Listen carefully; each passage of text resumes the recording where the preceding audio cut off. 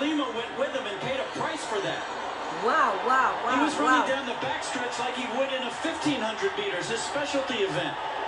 And look how long it took for the Ethiopians to gather and get up alongside of him. They finally did it just at a point where he hit a wall and he was toast. 55 seconds for the last lap for Edris and Ahmed, who had so many problems with people hitting his and stumbling over the last 600 meters or so, gets up for a medal for Canada, their first ever at the 5,000 meter distance.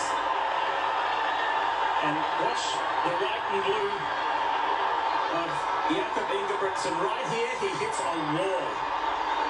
It's over. And ultimately finished in fifth place. Paul Chelimo seventh. But that was Muktar Yes, Edris Duque, yes.